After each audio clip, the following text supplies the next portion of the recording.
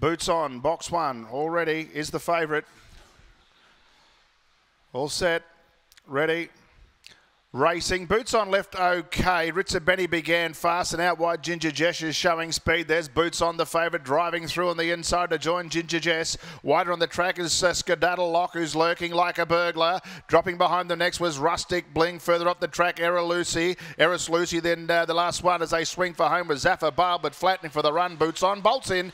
Boots on first, second, Skedaddle Lock, then Ritzer Benny from Rustic Bling, then Ginger Jess.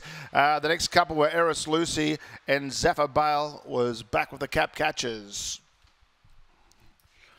Number one, the winner. The favourites are dominating. Number one, Boots on the winner. Second, five. Skedaddle Lock. And third, four. Ritzer Benny. One, five, and four. 22.41. The track's not in bad order for the maidens. 772 early. That wasn't too flash. 14. 69 home. 22.41. 772 early. 14.69 the run home. Four lengths the winning margin.